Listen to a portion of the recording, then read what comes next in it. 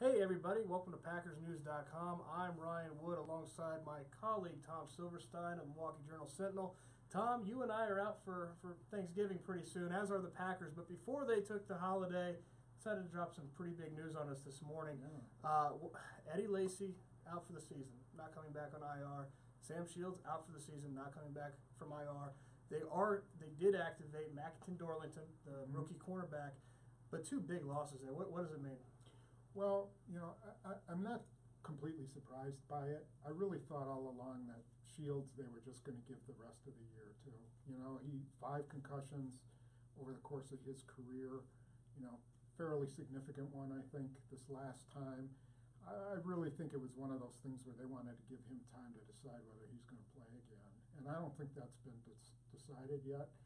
I think we'll see. It's it's really up to him uh, whether he wants to play. McCarthy said he's had some conversations with him, but you know, these guys, once they've had some time, they want to play, but you wonder, is it really worth it for him, even for ten million dollars? You know, so with that, you know, then there's Lacy, and I know. Uh, I don't know if you've seen him, but I I think it was about a week and a half ago I saw him, and he was still at his ankle wrapped up, and he was on one of those little carts, you know, that you put your knee on.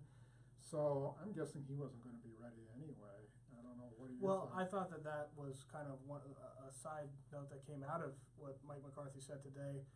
I, I think a natural expectation is maybe this is out of necessity because the secondary has been so bad.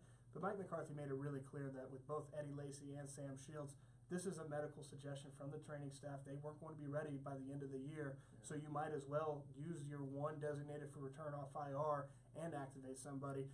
Makinton, Dorleant, whatever you can give on cornerback, that, that, that's that's the cherry on top. This team needs help uh, help as far as special teams go. I, I think that that's where he, he's going to contribute, if at all, uh, Yeah, special yeah. teams. So you- he's not a savior at No. corner. No, means. gosh, no. He's not going to come in. He can't even really do what Demetri Goodson Right. did. Uh, you know, now over the course of the next couple of weeks, they can they can work him, and maybe he can play a little bit of a role. But um, boy, you know, you're talking about a guy, undrafted guy, missed most of training camp. Did look good in the times he was at, at training camp, but you know hasn't played a snap of NFL football. So, you know, special teams at the best. I, I would agree.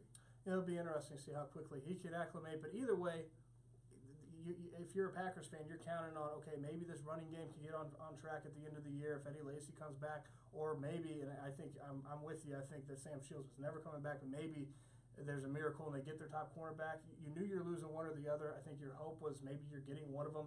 Now you're losing both. This running game's going to be what it was, and Mike McCarthy said today. Let's just state the facts this running game is not going to be what it was with Eddie Lacy for the rest of the year.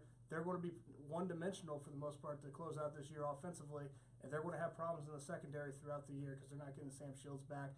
What that means and can they how how much that tur- prevents them from turning around, we'll certainly see. Uh, but until then, uh, make sure you check PackersNews.com for all your coverage. I'm Ryan. He's Tom. Have a happy Thanksgiving, everybody.